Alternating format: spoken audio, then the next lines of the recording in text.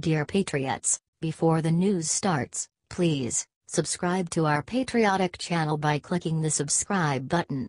Give us a thumbs up to this video. Don't forget to leave your opinion below in the comments section. Share the news on Facebook and Twitter so you friends see it. Thank you. Liberals in Hawaii protest Trump visit, but the Japanese greet Ivanka with something amazing. Ivanka Trump just got the reception she deserves. Earlier this week, the Trump family began a trip to Japan that included a quick stop in Hawaii. When they arrived in the island state, they were greeted by protesters wielding signs that say aloha also means goodbye, a jab that signaled that their greetings were actually calls for him to leave. After they did leave, they were given a much warmer reception by the Japanese. Ivanka Trump joined her father on her trip to Japan, and a few fans crashed her meeting with Japanese Prime Minister Shinzo Abe. Watch. Japan loves Trump, signs read, but the photos on the signs weren't of our president, they were of our first daughter. This foreign reception follows many positive responses to Trump visits. While Americans are busy protesting their democratically elected leader, the rest of the world loves to see the Trump family aboard. And they should. By making our economy great again, the Trumps aren't just improving America. They're making the world more stable, as well. Comment Japan loves Trump. And share if you would think Americans should honor our president like the Japanese. Unlike liberal Americans, the Japanese are making the Trumps feel loved and welcomed.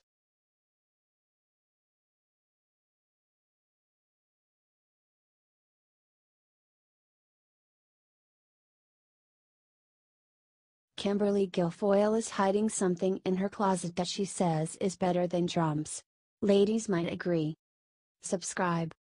Kimberly Guilfoyle is a staunch supporter of Donald Trump, so much so that she was once in talks to become his press secretary, but that doesn't mean she thinks everything he does is best. During an interview with US Magazine, the Fox News host claimed that she did one thing much better than the president. The interview detailed the contents of Guilfoyle's closet, which is filled to the brim with dresses, purses and shoes. Lots and lots of shoes. It's a necessary investment, Guilfoyle claims, because she sits on the five's leg seat. Something tells me that's nothing more than an excuse to feed her obsession with footwear. And what an obsession it is! Although Guilfoyle claims she has no idea how many pairs of shoes she owns, she claimed that there have been estimates of about 500. In order to store all her shoes, she had to build a wall of shelves in her closet. That wall, she claims, is better than Trump's. For the shoe obsessed, it's hard to disagree. Comment wow and share if you love Kimberly Guilfoyle. She's stylish and loves our president.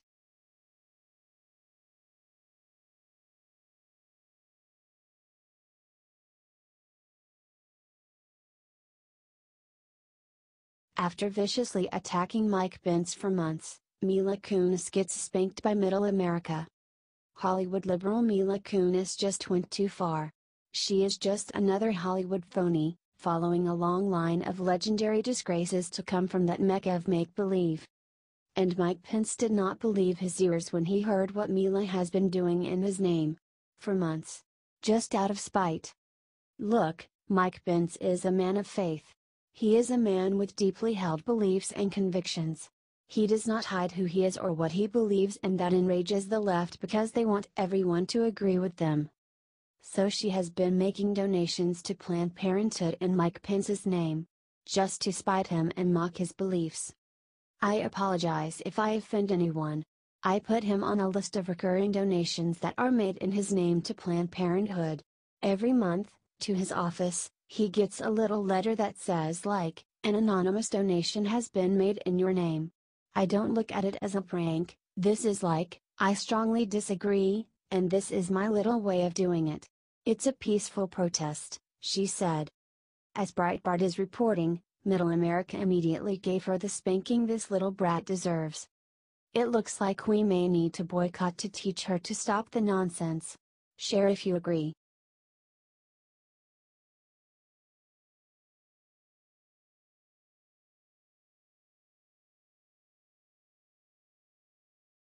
Nancy Pelosi finally admits reason why Dems and turncoat GOP can't impeach Trump. Nancy Pelosi just said something that made sense and even Trump was stunned. She went on CNN and spoke to Jake Tapper this morning and crushed liberals across America. Pelosi, shockingly that it came from Nancy Pelosi of all people, threw cold water on the liberal and turncoat GOP dream of impeaching President Trump. In case you missed it, the left is mounting a full-fledged campaign to impeach Trump. They have introduced new measures in the House of Representatives that call for his impeachment, and a billionaire has spent close to $10 million on ads to whip the base into a frenzy. True, the Dems and turncoat GOP do not have the votes now to do it, and ad campaign does not impeachment make, but the threat is real for one reason.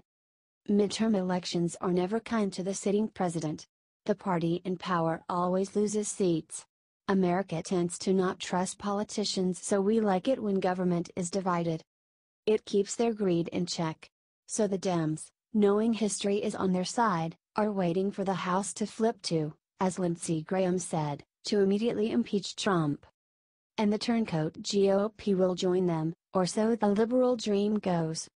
It is a real threat and it could happen, and every single liberal in America is waiting for the first day of a new Dem controlled House. But according to Pelosi, they are waiting in vain. She told Tapper. I believe that whatever we do, we have a responsibility first and foremost to unify the nation. Second of all, you can't go down any path without the facts and the law. But it's not some place that I think we should go, Pelosi said. When pressed by Tapper Pelosi crushed the liberal dream and explained that the Dems controlled the House when Bush started his disastrous Iraq war. It was shady from the get-go and history proved Trump right by exposing the reason Bush went as a fraud. She explained that if anything would be a high crime and misdemeanor worthy of impeachment it would have been that. What could be worse than that? Pelosi said. Correct. We have precedent and rule of law in this country. Bush was not impeached. That is a precedent that will hold and unless the Dems or the establishment GOP can show Trump starting an illegal war that almost destroyed the world and unleashed terrorism on the entire and added trillions to our debt, Trump is in the clear. Share if you agree.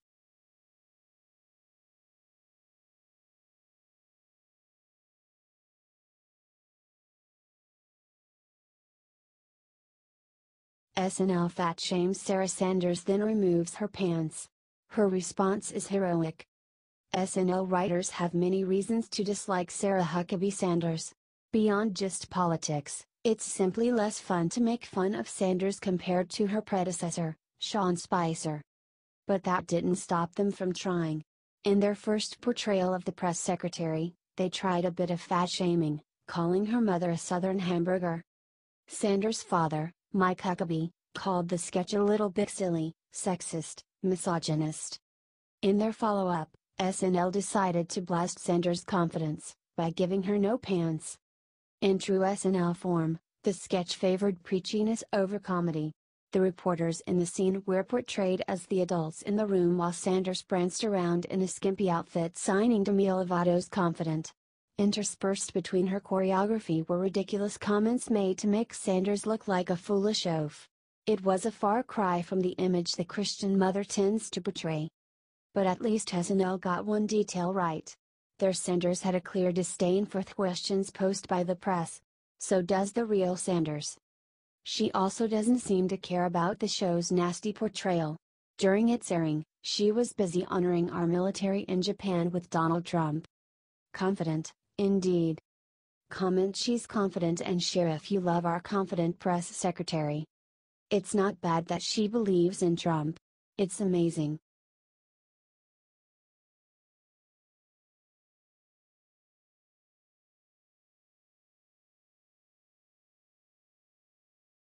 Two years after bashing him, this Saudi prince learned why you don't mess with Trump. Something incredible has happened in the world and the dopey mainstream media hasn't picked up on it. Trump just won Big Bulge today. How? Here's how. Here's Al Walid's tweet during the election. Tell me if you can see the pattern. Here's Al Walid's tweet during the election. Tell me if you can see the pattern. Then Trump hit back harder like he always does. After Trump won, dopey Prince bin Talal wrote him apology. Apology not accepted ha ha ha ha ha ha. President Trump doesn't have any chill. Check this out. Saudi Arabia's Prince Al Walid bin Talal is a prominent member of the country's royal family and a wealthy investor. He has now been arrested. Saudi Arabia's King Salman just literally removed a host of prominent officials, including bin Talal.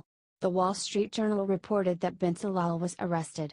Former Finance Minister Ibrahim Al-Assaf was detained recently as well, according to Reuters.